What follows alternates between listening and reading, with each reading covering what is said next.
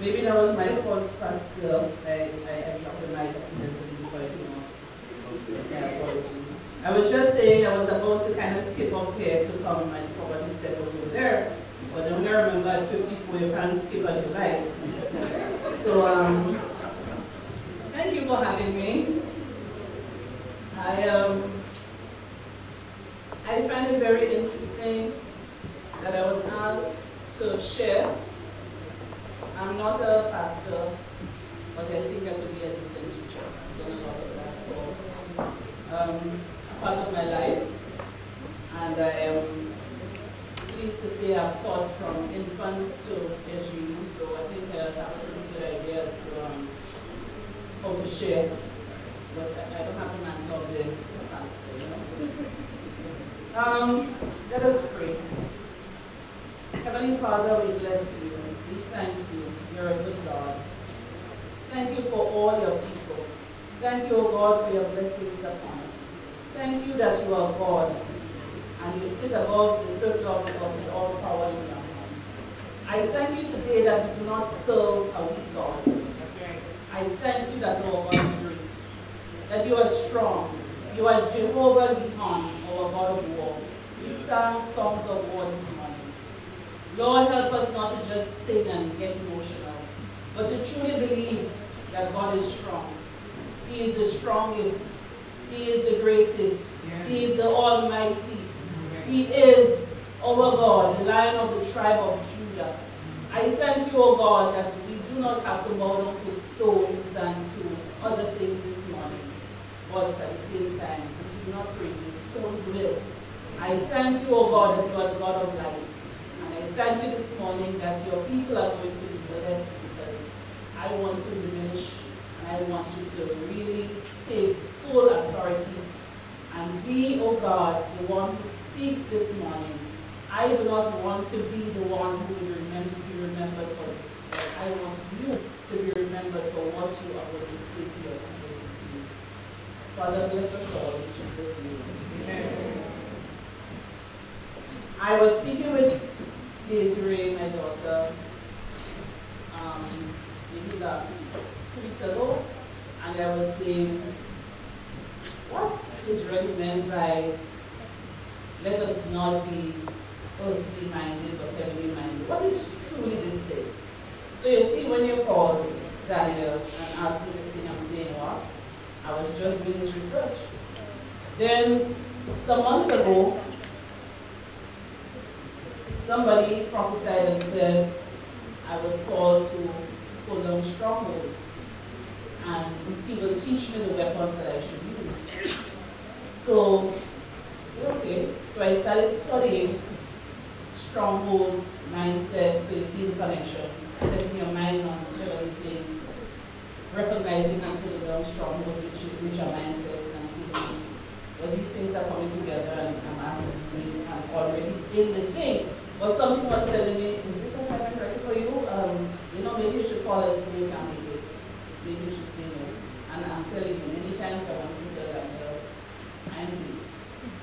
But I think all along, God was saying, no, you have to do this regardless of what you do. Because at one time I said, oh, it's too late to tell you no now. So then he called and said, well, it won't be the first date I gave you, it's going to be later. I said, oh, everything I thought I was seemed to be falling. So I really need to do this. I'm really full this morning, really full.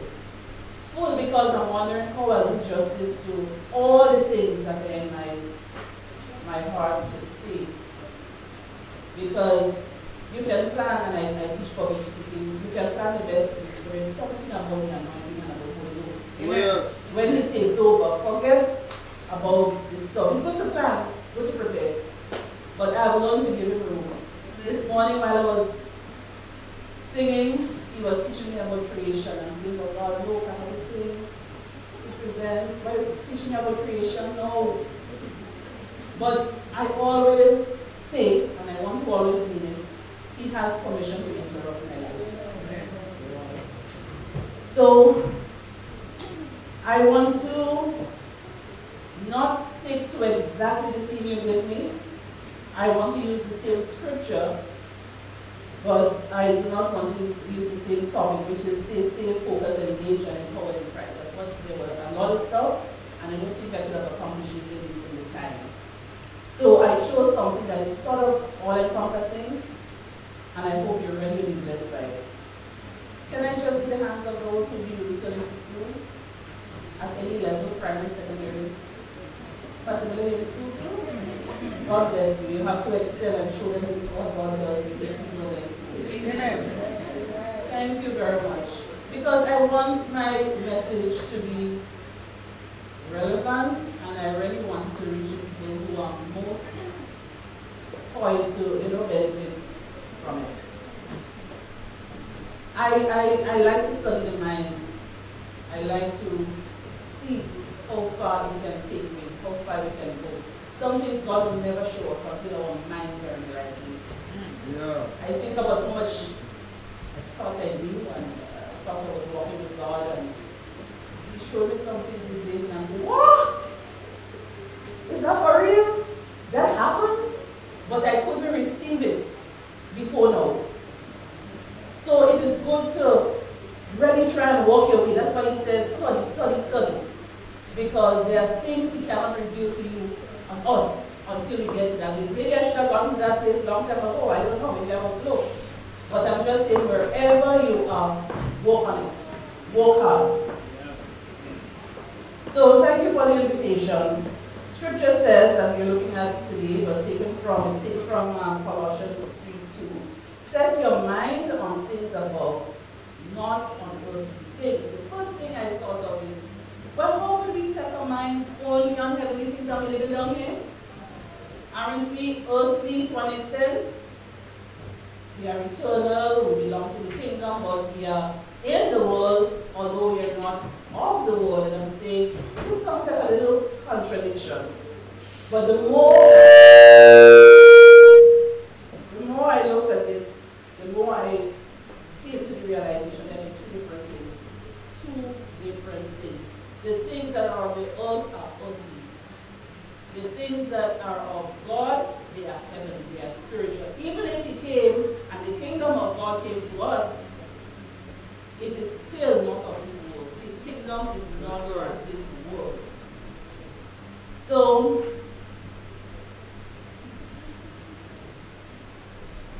I titled this message, Guard, your mind.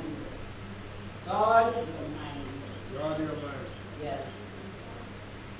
How do you set your mind on things above and not on earthly things? We are told in Scripture what to think about so that we set our mind on things above. Earthly things, on the other hand, are the things that are not of God. The earth is the Lord's and the fullness thereof. But the things of the world of the earth are really not the things that are of God. Because it doesn't connect necessarily with this kingdom. It is a different reality. When you talk about the things of the earth, you're thinking about the things of the world.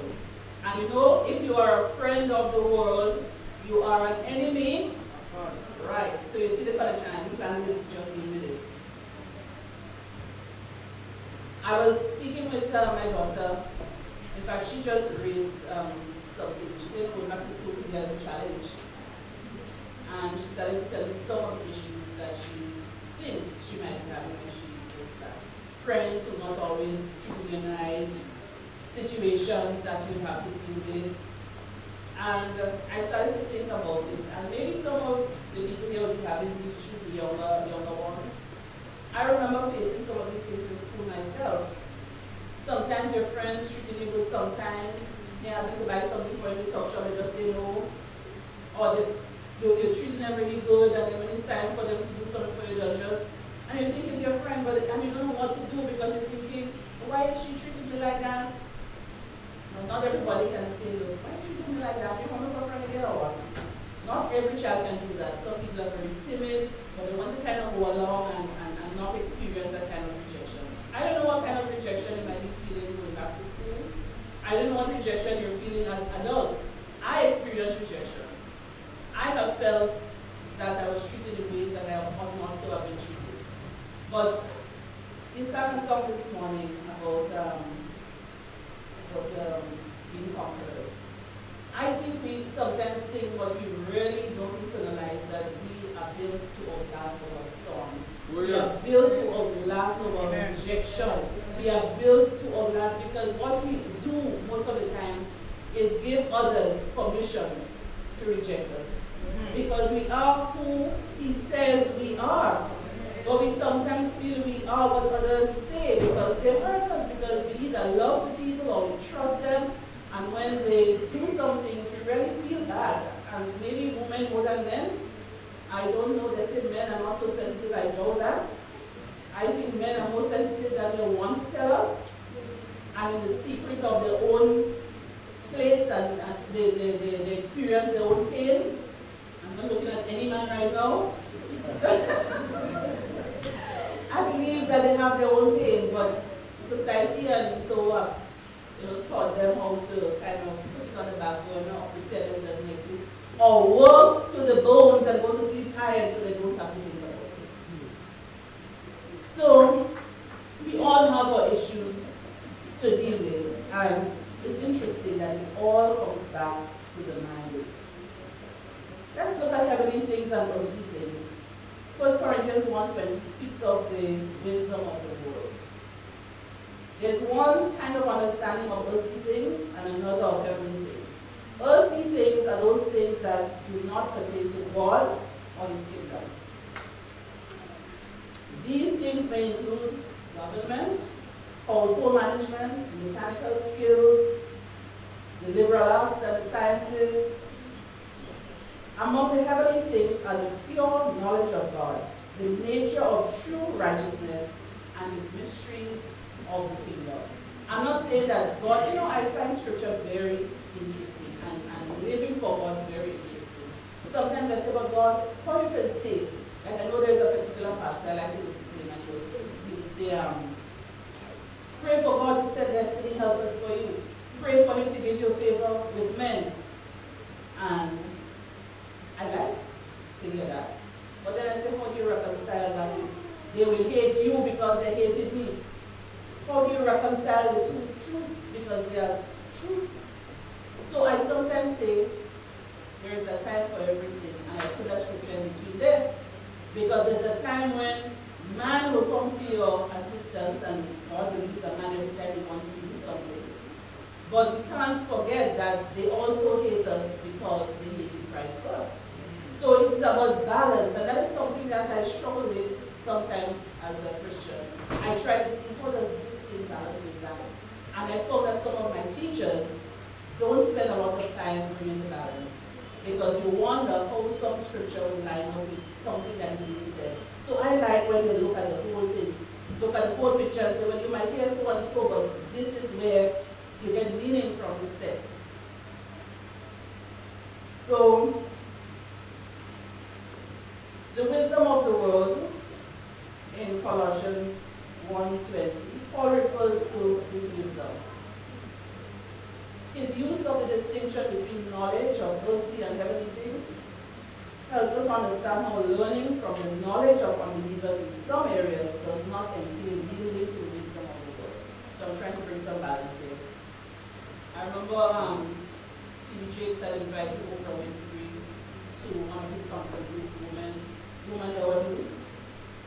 And people said, why would he bring a as Oprah in this conference that is supposed to be generally for believers and what can Oprah bring to a spiritual gathering. And I remember him defending it and saying, don't you know how to eat the meat and spit on the bone? Because actually the second time I heard a pastor say that. It seemed to be common in to our studios and he found such excellence in production technology. I, I had a career in television. I was an example. And we had a little beautiful station called GBC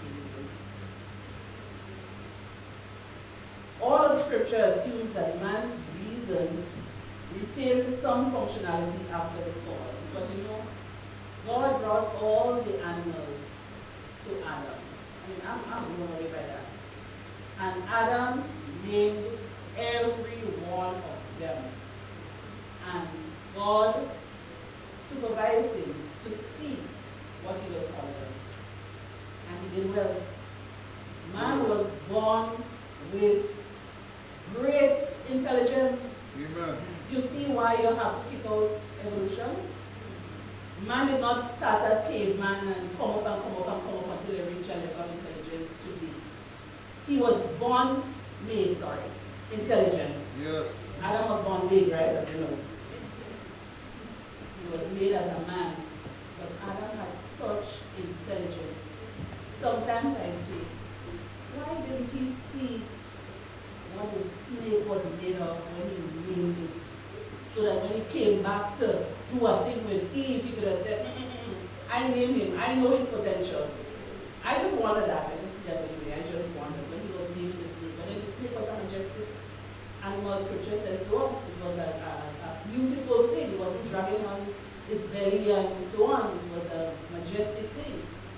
So whatever happened there happened, but um, Adam was wise. Adam was intelligent. So with the fall, I don't know if man retained all that level of intelligence, but he certainly retained a lot because he is still made in the image of God.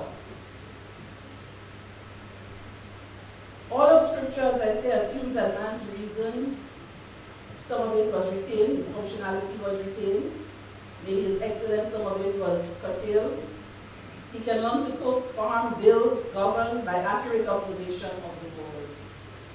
Jesus himself pointed to the ability of unbelievers to properly understand something about the natural world in his controversy with the Pharisees and the Sadducees. You remember he said, when it's evening, you say, it will be fair weather, for the sky is red. And in the morning, you say, it will be stormy today, for the sky is red and threatening. What do you see? If you know how to interpret the appearance of the sky, why can't you interpret the signs of the times?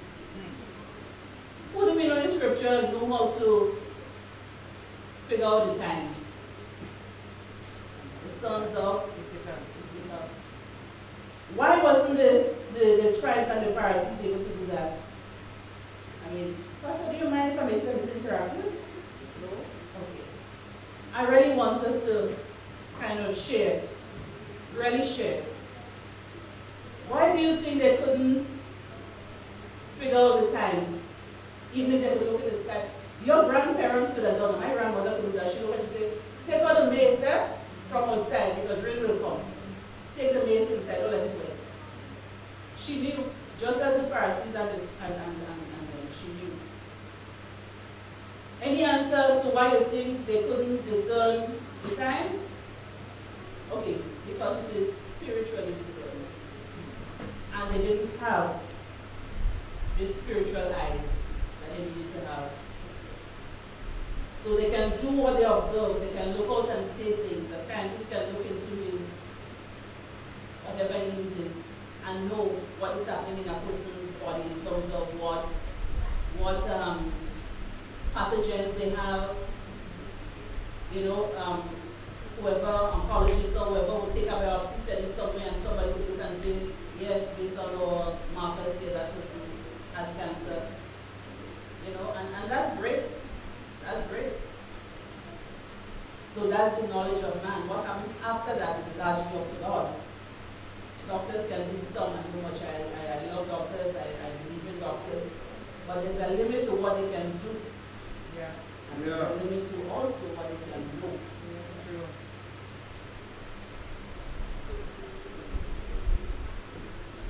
Unbelievers can come to some knowledge of earthly things from observing God's creation. When it comes to the knowledge of heavenly things, however, unbeliever scripture tells us blind. For example, it says, the message of the cross is foolishness. For whom? Those that are perishing. But for those who know God, it is what?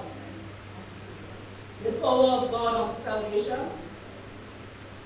So, you know, we have different eyes. Some eyes we think people should see, but they are actually blind.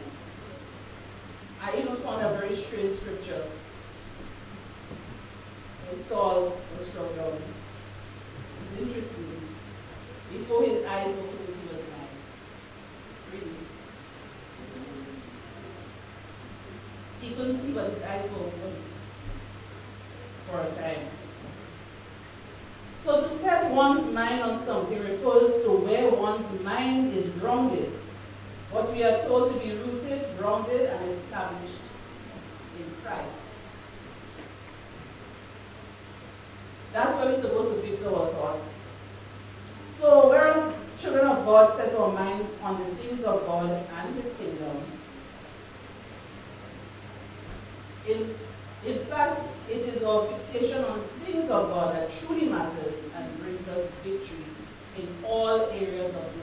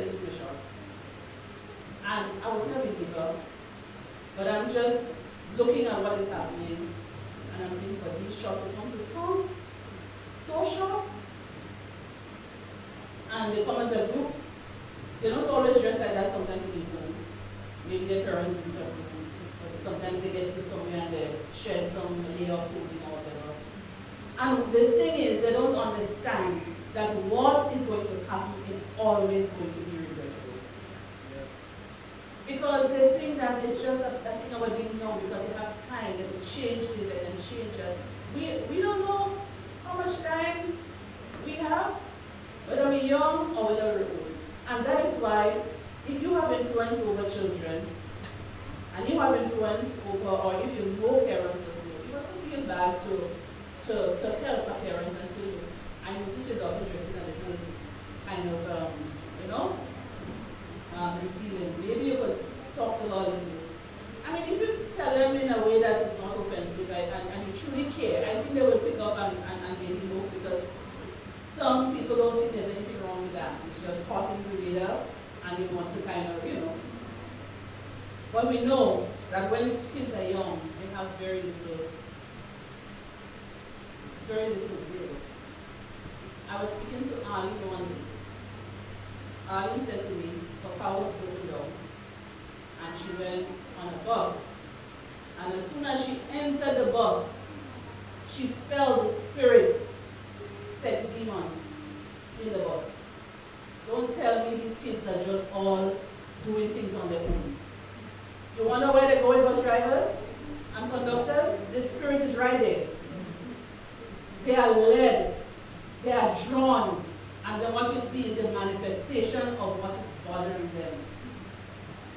So we have to pray for young people, and young people need to pray for themselves because it is not like our God to deny you what you are asking for. The Lord said in the scripture, if you pray, he will answer. If there is a man to pray, there is a God to answer. Amen. And he has not changed. He has not changed. You can go to him and say, God, I don't like how I'm feeling in my body. I don't like what I'm feeling. Help me. He gave you your hormones, but he also gave you the spirit to control them. Amen. So, you know, come to him. He already knows what you are experiencing, and he knows the demons you are facing. He knows. Sometimes they come in families. Sometimes they are from other, other, you know, sources. But there is a target on our young people because obviously we are the future. You are the leaders that are coming up. The next generation is you. You see why the enemy is so hard on you? You see why you have to not let it mess with your mind. And your mind is a terrible thing to waste. People who experience failure because of the, the, the, the lack of mindset to hold things together, they didn't just start off bad. They probably just didn't have any help. So I hope that what we're learning here will help somebody to set their mind in, a, in the place where it should be so that they can overcome. Because, you know, the enemy is not after anything else but your mind, well, your time too, but your mind. If he has your mind, he has you. As a man thinketh in his heart, and heart here really means mind, so is he. If you think you're a failure, that's what you're going to move towards. And those spirits of failure will be sure to come around you and say, you know things that your mother didn't do good, your father didn't do good, what you you'll do good? Eh? You, you, you just meant to go in the road, that's all you do. And if you just keep going under that kind of pressure, it's in truth to avoid. In truth, that is what. But God takes us from wherever we are and shoots us up to excellence regardless of our circumstances because we can walk with him. We have the mind of Christ, scripture says. We have the mind of Christ. But sometimes you're afraid to exercise it. Sometimes we say we are more than conquerors in Christ. We are more than. And we say it, eh? and I wonder sometimes if we really feel that or we feel, Lord, how could I overcome this situation? You say I'm a conqueror, but you say this about me, but I think the biggest challenge is to internalize what we see. So when I teach, sometimes in businesses and so, I like to do a little repetition. Teachers who are here will. I like to kind of say it again and again because somehow it gets ingrained when you hear it again and again. So if nobody is there to tell you, you have to tell yourself the thing again and again and again until you internalize it and it becomes one with you. Because you know in this life, even if you're young, you won't have people to help you all the time. You go to school, you have to make your own decisions. And parents, please help them to make decisions when they're, when they're home. Small decisions that wouldn't matter if they go wrong. But teach them to make decisions and to live with them. Small things. I told my son the other day, I told him to make bakes. I said, go and make bakes for breakfast. He started, he was doing okay, I was upstairs, I never went down to help him. And then he come up and was crying. I do something wrong. He's 16. I do something wrong. I said, what? I don't know. You need to come. So you don't know what do wrong? I said, Desiree, go and see what you're doing upstairs. She said, no, we do good. He makes curry, he put salt, put plain and water and thing, and it, it feels soft and nice. So I don't know what he worried about. I went downstairs and I looked at the thing. The thing was good. But in, my mind, already said,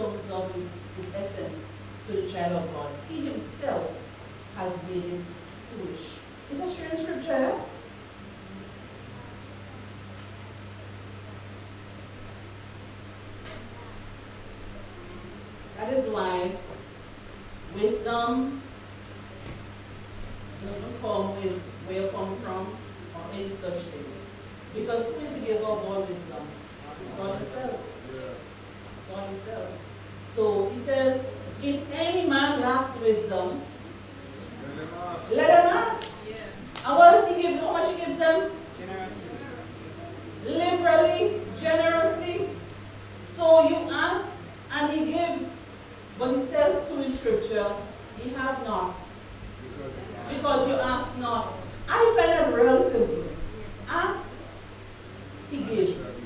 Ask, he gives. Especially when you ask, of course, within the framework of his will. When something is in God's will, you don't have to ask if it's right.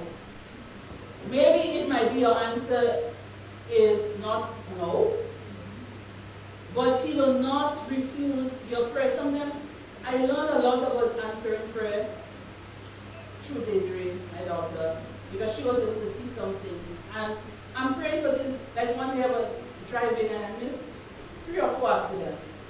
And I mean, I know I'm not the greatest driver, but I didn't think this accident should have been so close to me at all because I was really on my side. And I said, let me pray, because this is not normal. Between Marian and Malagram, four near accidents. So I said, in the name of Jesus, I cause this demon spirits around me to leave me now. And she says to me, I see, I see, um, was it arms without, without head. I see them tampering with stuff.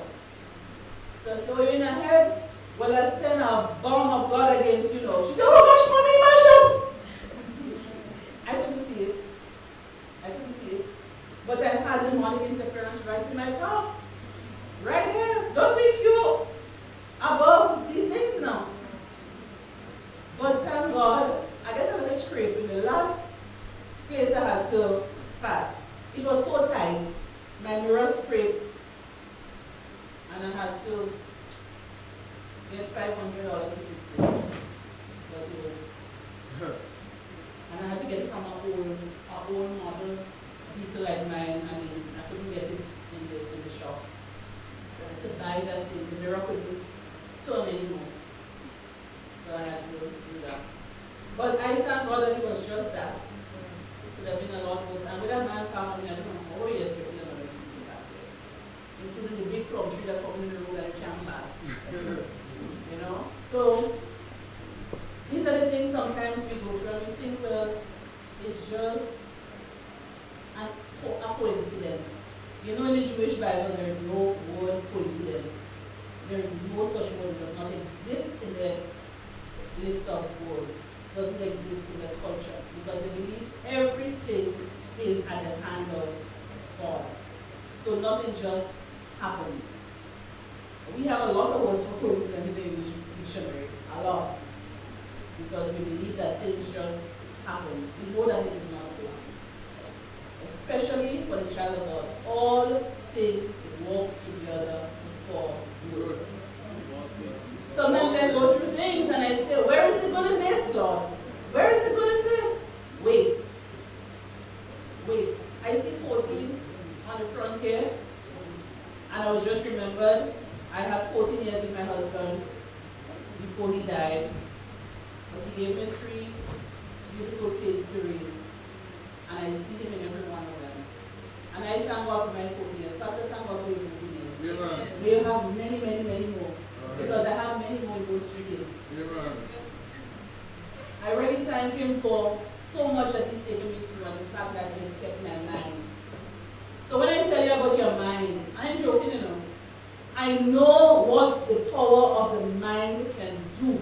There is a law of the mind that no matter what you go through, you cannot be overtaken. The people under Nimrod Kush who started to build the temple, the tower, what did God say about them, about their mind. Anything they put their mind to, they would accomplish. And these were, these were not godly people, you know. These are not godly people. He said they could accomplish what they put their mind to. So there is a power of the mind, even outside of God. But it is not advisable to have the power that is void of God because people only go so far and more.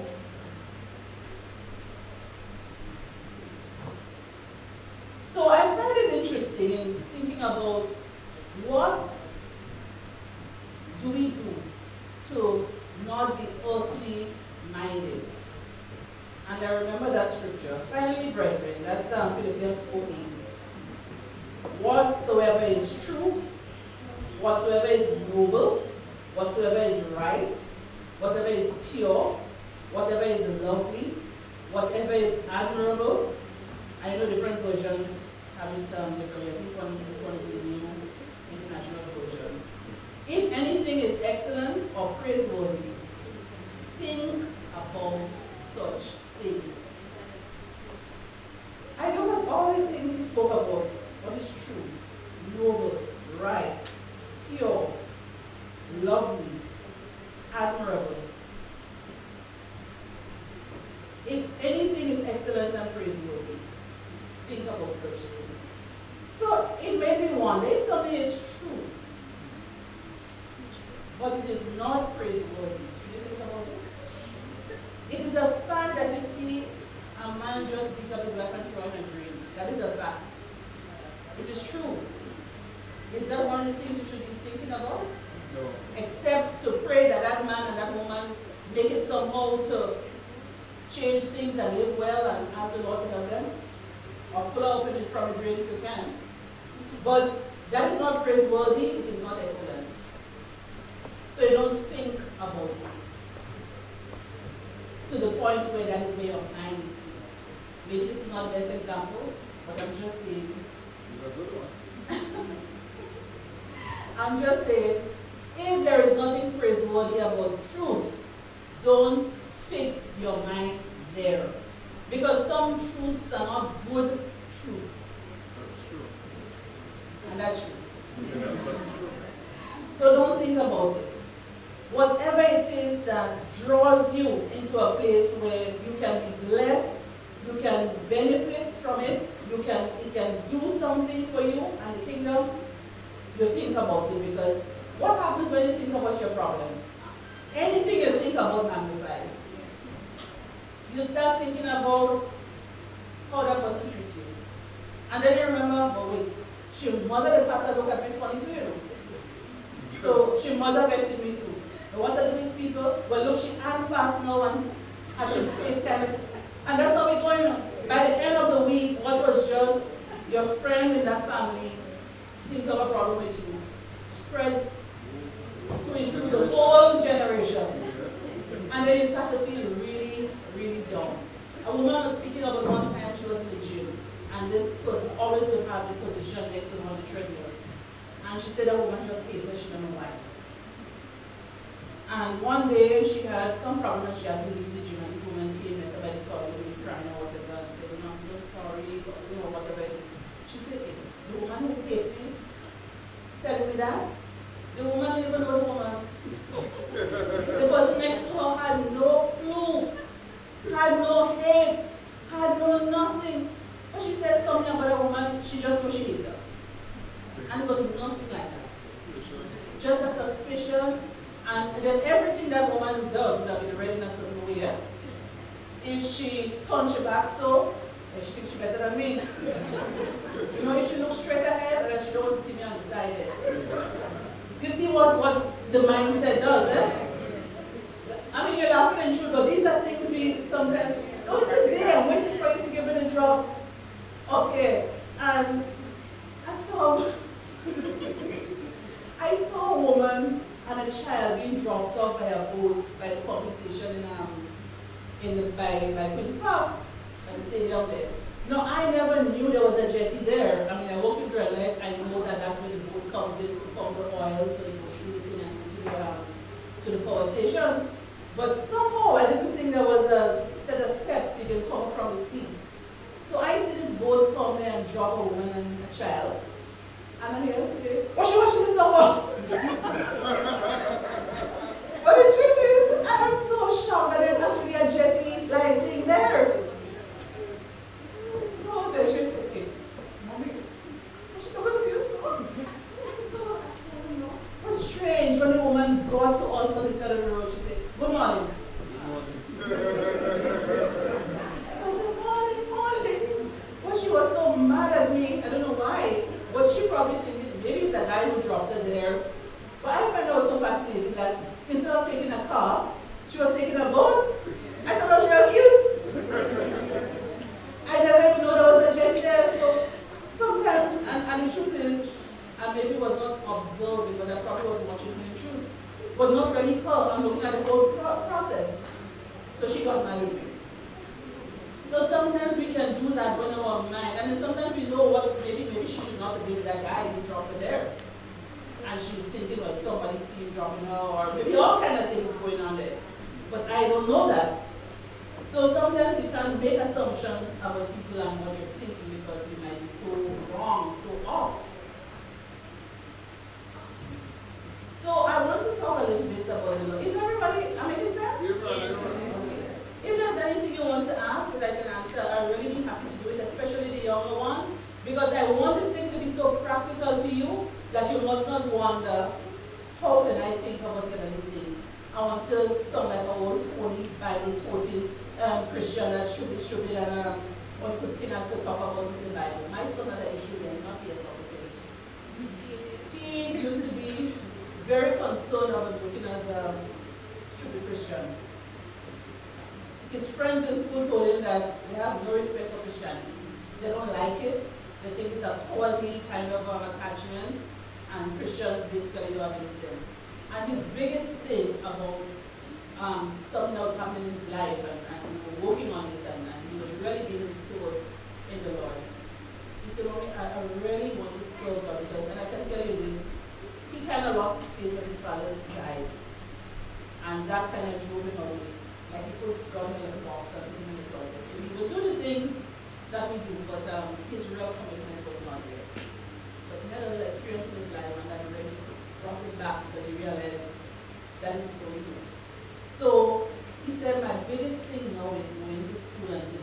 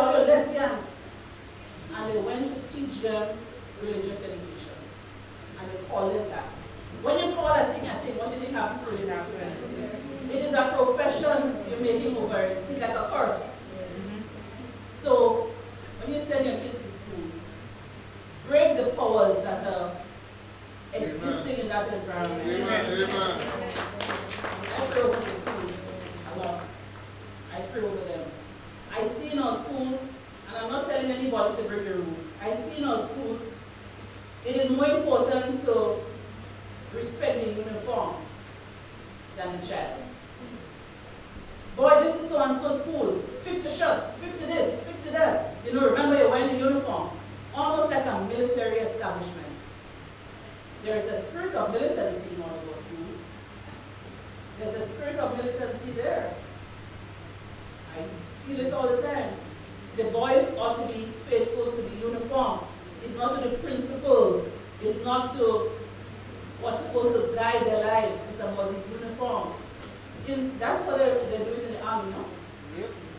So, pray over your girls, pray over your boys. The co-ed schools have their issues. Hmm. The single ed schools have their issues. They all have issues. But a lot of the issues are common. A lot of the issues are common in, in, in, in those kinds of schools. And we have to pray when our kids are going there. We have to pray. We cannot just leave them up. You know, I have something that bothers me about school. Too many young, young girls teaching in our secondary schools. The boys too, but the girls. You just leave college, never manage a classroom in your life. When I was a young teacher I started to teach at 17, somebody bought me a little book called um, And So to Teach. I had to learn to teach. I was just being taught myself. I have no experience. Let me tell you something. A lot of young kids going to school managing on the education they went there with, know. A lot of them are not learning in their learning environment, you know. And it's not to condemn anybody. I'm just saying, and I was a young teacher too. I'm just saying, if you are a young teacher, learn how to teach on your own if you get a job. There used to be a thing PRG used to do when I was a very young teacher. They used to give us in-service training. So because you want to train in teachers college and, and get a full certificate, they trained you on the job. Every Friday you went to teachers college and you had classes. So I was trained eventually before I left teaching. But when you go there, one of my greatest problems in, in, in secondary school, because I was teaching so young, the boys used to behave as if I was a target for them. You know, they started to be disrespectful to me. Or how do you deal with that? There's one boy driving a bus up to the talking. I am 15, 4 this year. Only recently, actually, he started telling me hello again. I take it to the principal. Young boy,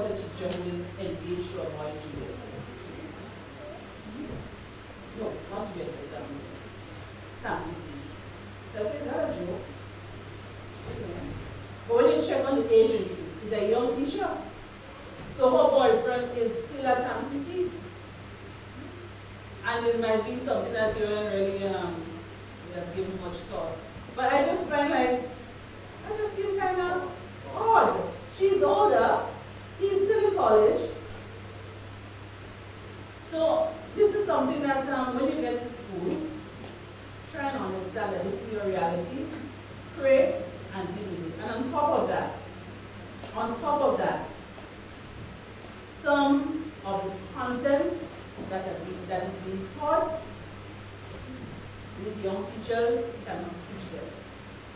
They're not equipped. You're teaching French and your instruction in English is totally ungrammatical. You're not ready to teach French, you cannot give the instruction in English. So if you tell a child something in English to transfer into French and your grammar is wrong, how would you get the French grammar right? Just of it. I know what I'm talking about, eh? I was a teacher. I was also a journalist, and in my very young days, when you see a new and I understand, want to say exactly what it's The Prime Minister said today that so and so and so and so and so, and, so, and I put him on. Well, la la la la, and he says his thing, and story done.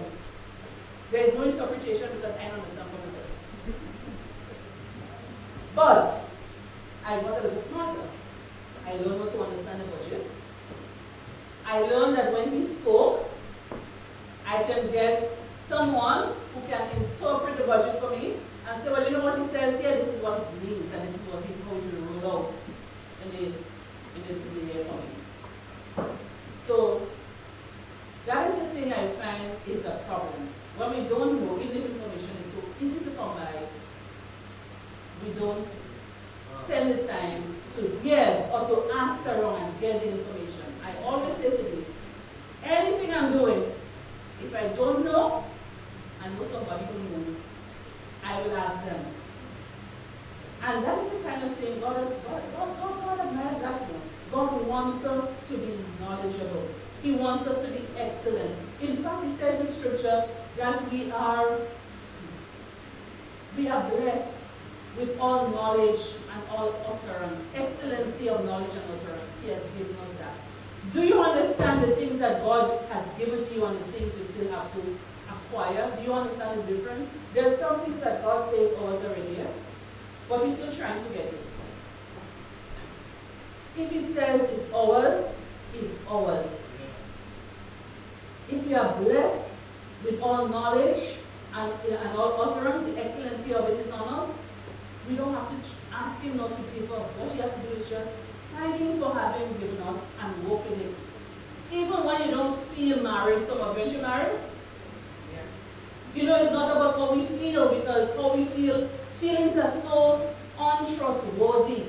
You get up this morning and you just feel you will have a problem. You get up this morning and you just feel as if you will just, whatever it is. Don't trust your feelings. They are not reliable.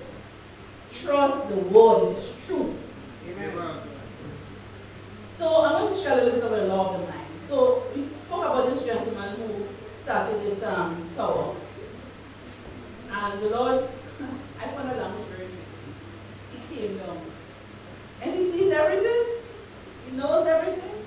He came down to see the tower which they had built. You know, many times I read that scripture, I don't know what was wrong with my but I was thinking, came by the whole building.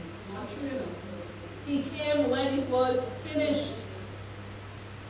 I always thought that after he came and he confirmed with them and so on, they just couldn't continue. The thing was done.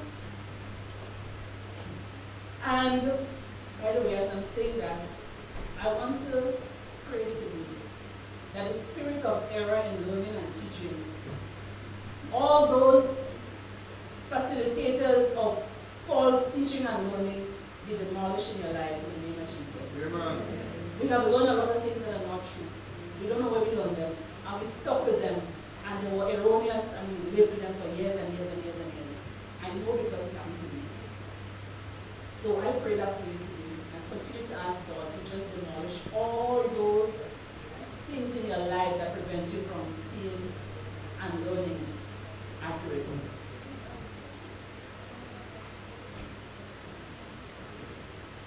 So, I thought of what happens with our minds when we put it to the things that we have to do. Just as Nimrod, we get to accomplish a lot without God, but we cannot accomplish what we truly should. Because that is partial and also. Remember what um, David did with Goliath? You know, before David really delivered that that stone to Goliath's forehead, then I mean that was just the atmosphere in the right there. Yes. But before that even happened, David had taken him down already psychologically. Psychologically, he had won that battle. Goliath thought he could talk and talk about what you come to me with sticks and stones as if I'm a dog. What to David I said, You think I'm a dog? You say that's what to David. But um, David said, uh-uh, you are the ones the boy's going to eat today. You are the one. You. They say Christians not supposed to say things. Watch. Hmm. I'm just urging you to live life in context. Live life in context. There's a time to pull on them thing. There's a time to say what you have to say. And there's a time to be quiet. I know that even for women, pastors and so will tell you, a woman is supposed to be quiet. A woman is supposed to be all those things that I'm not. You know? Not that you, you're noisy and you're rambunctious or anything. It's just that, um, for example, confrontation. People will say, don't be confrontational as a Christian. Well, what is confrontational?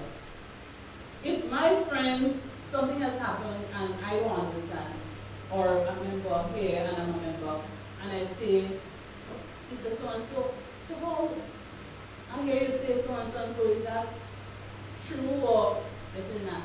There's confusion, let's pray. Well, I think God is confrontational. He said, if you come to offer your gift, and your brother, your found out against you, you did something that make him whatever. He said, put down the thing. Put it down. Go. What do you call that? That is confrontation. That is not confusion. I think we have mixed up confrontation and confusion. And he wants us to confront things. Because when we don't, we become suspicious, we draw all kind of wrong conclusions. I think what is bad is when we go and we cause trouble. You know? So the next time somebody tells you you're confrontational, just make sure you're not guilty of the confusion part and say, yeah, that's true. It's not wrong. It's what comes on top of that could be wrong. But it is not wrong to, I like to confront things, except God say, watch, leave that alone. Sometimes he wants you to leave it alone too. And when he says leave it alone, by all means, leave it alone. So when your man wants to say, I told you to leave it. So leave. But as far as it is in your your heart to deal with issues, you see how this can make you sad? Sometimes something happens with you and your friend and you see how the relationship breaking down. Because you can't raise the topic and you're just suffering. And everything that person does puts you more and more and more and more and more. Whereas you could have just dealt with it and everything just fixed up and moving on again. I think that, I don't know, but I think people and kids and not young people, that is something you must try. I think it takes more effort to lie, to make up a story, than to come and say, look, like my mom told me yesterday, she has this guy who always comes and sit and chat with her in her shop, and she said, oh, he stole my radio. So I said, you're asking for it? She said, no, but people tell me they see him playing it. So I said, when you listen I said, boy, that radio had inside there, you take it? So she and him been talking now, vets, and she has never asked him one day if he has the radio. Now he might tell me no, and he has it. But at least I do what I could do. And if you do something wrong, to me, you are more disingenuous when you do something wrong and standing by the wrong than when you just come out and say, it's true, I mean, I did that, and I mean, I don't want to come over me. I, I, I'm, I'm really sorry. Who would message you after that? I mean, just think about it. What else can you do? Is either the thing fixed or you mash up. But you do, you, you know you did what you what you had to do. To me, I honor a person much more if they tell me a hard truth than they lie to me and send me down a wrong road. I find it's the best thing to do to preserve your honor. I Admit that you did something and take responsibility for it. Because everything you do will carry, you know, your, your, your consequences, be small or. But it is the best way to live. As a man thinketh in his heart, so is he. Train your mind to perform according to instruction. If you repeat your imagination, you draw either spirits of God or demons based on what you think. So if you're thinking good thoughts, you will have the help of spirits from God to help you. If you're thinking wicked thoughts, you will have the assistance of the demonic forces to help you. So you draw those helpers from either side based on what your thoughts are. Your thought life is an important thing, you know. What happened to Job? Job, I mean, God says he was perfect. But Job had a mindset. Let me offer that thing here before the children do something wrong and, and, and they have to face the of Let me offer this thing for them. He was doing that all the time. It was a mindset that he could either bribe God by doing this, or what I found very, very interesting, and I found it up this week. He said, I was not quiet, I was not at ease, and yet trouble came. He was not in safety, as one of the versions also say, and yet trouble came. I realized something. Job did not know he was hedging because he was safe. He said he was not in safety, and yet trouble came. Job had his hedge, as you know, and his hedge had to be removed for Satan to get an opportunity to test him. But Job did not seem to be aware that he was hedged. Be careful to know what God has done for you. Be careful to be aware of what he has done for you. Job saying had no rest. You know, tell you, this is a really interesting time for me. I have read that scripture again. When Thomas was sick, I read Job again and again and again. Because I'm 10 more children and 140 years and double from a trouble. It was not to be. He has a different reality for me. But I did not see that Job was not at ease. Job was restless. All the sacrifices, sacrificing. And all the things he was doing, Job had no peace. I did not see that. He says he was not quiet. He didn't feel safe. And that is also, even if God allows Satan to tempt and try him, Job also had a open. So God won't you because you have a door open, but you have to pray and ask him to shut the doors that you ought not to have open. Because they can lead to your real pain. So when I learned that Job did not realize he was hedging, I was shocked. Remember, Job have a Bible until that we have now. Job was by faith. You still afford to live by faith. So you are truly defeated when your mind does not capture victory. And those spirits partner with your mindset. And what happens? That is called a stronghold. Your mindset is a stronghold. And that is why I kind of changed um, the topic because I felt we had to deal with the stronghold, strongholds that beset us. And what they are and the importance of putting them. You know, you know the scripture never says cast out the stronghold. You have to pull it down. You cast out demons, but you pull out strongholds. A stronghold is a sustained faulty pattern of thinking based on lies and deception, often enforced by demonic spirits. Raw mindsets or ideology or value system or ways of thinking, whatever you want to call them. That is what a stronghold is. And demons can fortify a mindset. Some people say, I've got a particular girl. Her husband told me, she said, me, every time I walk in men, I just get like them. These are the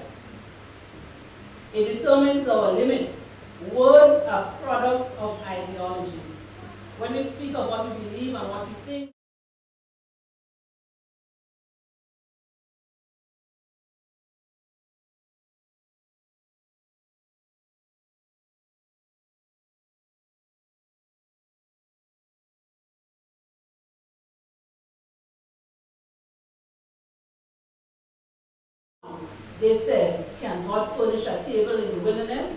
Can He give bread also? Remember the Israelites in the desert? They limited God. They said, well, God is all powerful until He meets your mindset. I sometimes look at the scripture and say, wow, we limit God? We can. So let's just quickly look at sources of mindsets. Culture. I'm a Christian. I enjoy the nice music and the, the, the costuming and so on of carnival. So I don't believe in anything else about carnival, but I would share in the nice costumes and so on and so on. Carnival has a god. There is a god of carnival, many gods. One is called Bacchus, from where we get Bacchanal, god of wine, god of revelry, and there are other gods. Every time you jump and wave, just as how you jump here and wave for your God, is a jump and wave for the God of this world. Culture. When I was writing a book with my husband about religious language, I read a book written by Carmen you know, she's um, from Caribbean. She wrote a book, about Caribbean, Caribbean and festivals. One of the things she spoke about is the, the big drum dancing and what it does. And she said, you remember her name? Anyway, she said that they form a circle and they do the dancing thing. The drum is beating. And they create a space in the circle. And they pour alcohol. There's a name for that, I can't remember it. They pour alcohol and they do incantations so that the spirit of the ancestors can come in the space that is left in the circle Sit down and say this is culture. It is demonology. It is not culture. And I'm not saying hate anybody Carriacou. I'm just saying, don't be drawn into that satanic mindset that what you think is culture. It is not culture. Culture is a very interesting thing, I find, that the devil has used over the ages to bring us his gifts well packaged. So much of what is satanic is in our culture. So when culture disconnects with scripture, it is time to disconnect with culture. Amen. Because some culture is, is okay. A lot of it is not okay. Past experience also creates a mindset. A person who is molested, for example, might never be able to maybe have a husband because you see all men as wicked devils. So that mindset now has to be changed. That mindset has to be pulled down. That's a strong word. We get mindsets too from association, who we associate with. All, all, all kinds of people come with what they come with. We also get it from family backgrounds. You grow up doing something in your family for years and years and years you're doing it, and you never even sat and figure out, oh, is that thing right? Should I be doing this thing? And it stays in you, it's like a to Failures also create mindsets. You fail at something, and you don't ever want to try again because you think failure is a mark of incompetence. Failure says that you could never do anything right, and that is not true. That is not true. The Bible even says a righteous man might fall down seven times, but he gets up. So where you have experienced failure in your life, don't say that you've given up. That mindset will make sure you never try again, so you will never have success. Mindsets are not spirits and cannot be cast out. You can't say, I cast out this mindset. A stronghold is like a chain to keep men in bondage. You know, people say people um, sell the souls of men to the enemy. And that is true. But they also can sell your mind. Because if you come into the kingdom of darkness and you ask for influence to get other men to come into the demonic kingdom, you are influencing the mind of others to serve the enemy. How many business people, for example, will contract with the enemy and they will be used to bring in other people into the kingdom of darkness. That happens. And their minds are totally engaged with the enemy. So let's look at a few things about how to pull them down. Recognize that you need help with a stronghold. Recognize, watch, I had a stronghold. I had a stronghold in my life. I was afraid to. My husband to drive me everywhere. One time we had two cars, but one time even twice. I didn't find the fish market and, and, and go home with him. Because I didn't want to drive. Left it in the fish market. And he said, going home, I said, oh, where are you? He said, what's your car? I said, I will leave it for the night. But people don't leave their car in the fish market for the night. God just was merciful to me. And anybody could have bring it. So when I think I was driving sometimes when he was sick, I was just with the driver. I just thinking, drive to the shop, be alone. I never thought I had fear in my life like that. I never thought I had such a fear because I felt generally I was kind of kind of strong. But that was a serious, serious fear I had. And I can't go. Well, that's before I had the accident, I was like that. I had an accident I went on my hill. With me as a baby. I just came out of the car.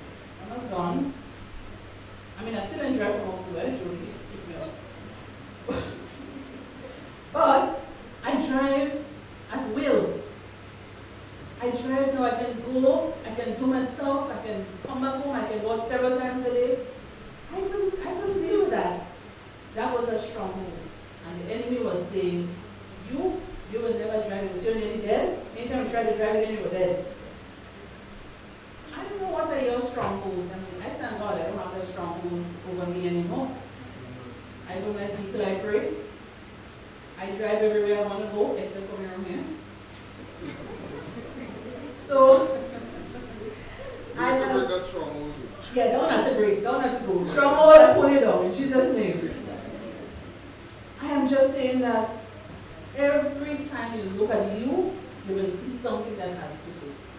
Don't make excuses. I tell you, I listened for years. Eh? The no driving thing was for years I had that stronghold. So look and see what it is you have that prevents you from achieving God's best for you. And I'm going to help you with some little things that you can do. So, you know how scripture says, He lights the light of every man that comes into the world. God has wired us all with an infinity for Him, a desire for Him. It is innate, it is in us. But of course, because we have will, a lot of people don't don't take him on with, with, with that thing and they, also somebody else. But just as he lights the light of every man that comes into the world, Satan also looks for things that he can put in. He puts something in you. He puts it like a program, and sometimes he waits. He might put it in you since you're young. And as you grow older and older, you realize that there's some things in you that have been there, and you have to be. Satan is very strategic. Eh? He's not smart, he's not wise, but he's very strategic. Because he knows. He knows stuff. He walked in God's presence. And you know, God is interested that his gifts and so for repentance. Yeah? He doesn't take back what he really gives you, but you can corrupt what he gives you. That is why you could once be functioning in prophetic, and then you turn, forget about God, and you're functioning in the demonic. It's the same gift. It's prophetic on the one side, it is demonic on the other side. So, we destroy arguments and every lofty opinion raised against the knowledge of God. That's just English Standard Version. And take every thought captive to obey Christ. Could you imagine you are in a battle for your mind? You are, you are in a battle for your thoughts. And he says, take every thought captive in order to obey God. So when the thought comes I tell you, do so and so and so, you take that thought and you say no. You say no. In the name of Jesus, I cause this thought to have no effect on me. I make my mind inhospitable to the attack of the enemy. I cleanse my mind with the blood of Jesus and his word and his power. You have to take captive those thoughts that you ought not to have. Weapons to pulling down, destroy the programming. That's what you. I destroy the programming you have put in my mind in the name of Jesus. I pull it down. I pull down every demonic programming that has been put on my mind. I refuse to think the way you want me to think. I am not your candidate. I pull it down in the name of Jesus. These are not jokings. We have to do it to preserve our minds.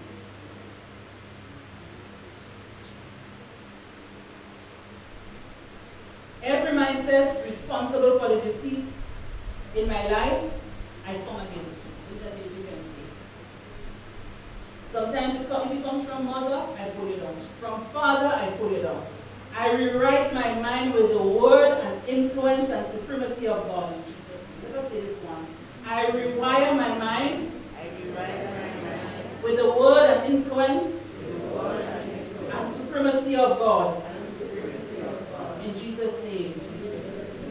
Well, at this point, I want to say what they told me I should have said at start. Be safe, be focused, engaged, and empowered in Christ. You cannot be empowered unless you have the knowledge. I hope that what I presented today made sense to you because I like practical Christianity. I like to know that I am being taught something I can do something about.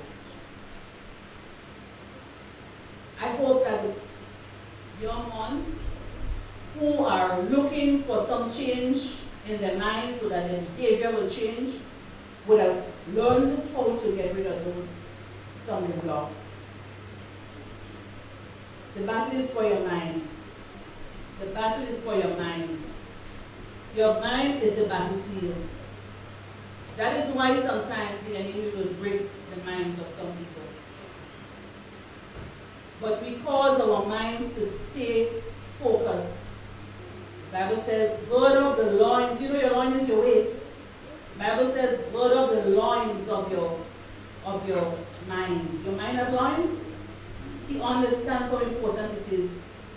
I think the Bible says your mind, your loins is supposed to be girded with truth. It says, gird up the loins of your mind. Truth is an antidote for a broken mind. Is there anything that you'd like to ask? If not, I thank you for your attention. And um, these were not meant to just be notes, they were meant to be practical help for you